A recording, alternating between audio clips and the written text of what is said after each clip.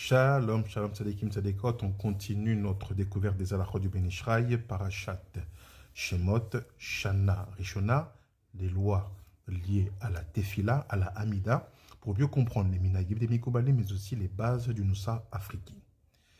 Quel type de mouvement votre corps peut-il faire ou ne pas faire pendant la Hamida? Première chose, avant de commencer la prière principale qu'est l'Hamida, on doit faire trois pas en arrière et trois pas en avant.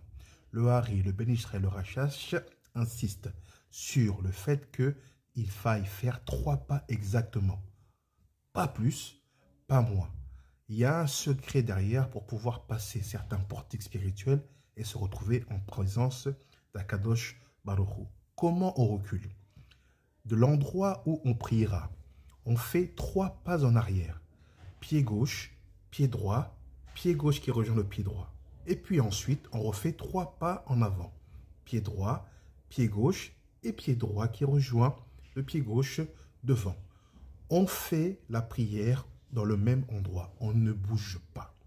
Une fois qu'on a fini la sa amida, on ne s'assoit pas. On reste debout, même endroit, jusqu'à la fin de la répétition du Chaliar Tzibour, de celui qui dirige la prière. Ça veut dire que ceux qui ont l'habitude de s'asseoir ou de bouger après le Ael Akadosh, ce n'est pas selon la tradition ni la compréhension des Mekoubalim. Il y a quatre moments dans la Hamida où il faut se prosterner. La prosternation se passe en deux phases. On plie les genoux, après on courbe le dos.